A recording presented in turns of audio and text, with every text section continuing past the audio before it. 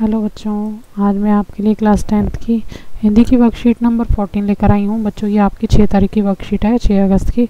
इस वर्कशीट में आपको एक पद्यांश दिया हुआ है, जिसको पढ़ कर के आपने प्रश्नों के उत्तर देने हैं। तो मैं आपको प्रश्नों के उत्तर करवा देती हूँ। प्रश्न नंबर एक है, प्रस्तुत काव्यांश में कवि स्वदेश को क्या क्या समर्पित कर चुका है?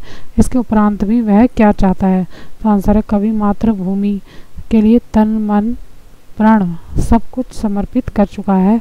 वह अपने मस्तक, गीत तथा रक्त का एक कण भी अपने देश की धरती के लिए अर्पित कर देना चाहता है।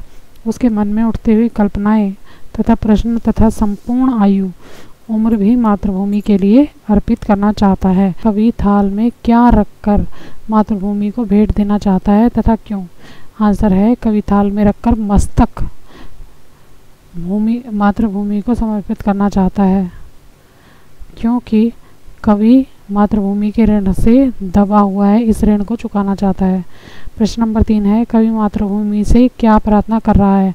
उत्तर है, कवि यह प्रार्थना कर रहा है कि जब वे अपने मस्तक को थाल में सजाकर लेकर आए तो उसके इस समर्पण को स्वीकार कर ले।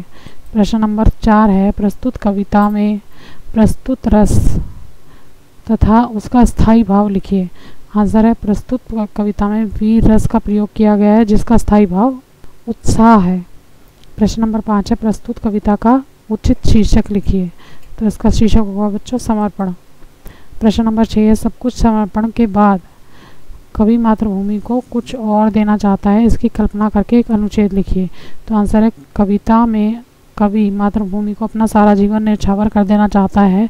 कवि के अनुसार हमें तन, मन, धन और जीवन से अपने देश की सेवा करनी चाहिए। हमें मातृभूमि के प्रति प्रति सच्चे मन से, श्रद्धा से, भक्ति से, भक्ति रखनी चाहिए। मातृभूमि पर हमें, मातृभूमि पर हमने जन्म लिया है।